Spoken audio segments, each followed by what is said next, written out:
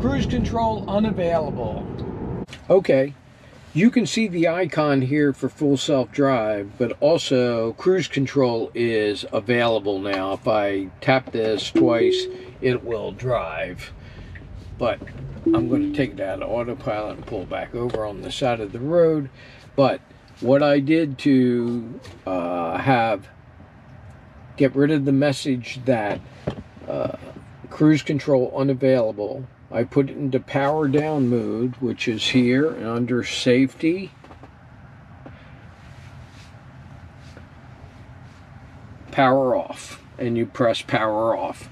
I left let it for 30 minutes, and then I opened and closed every door, front and trunk.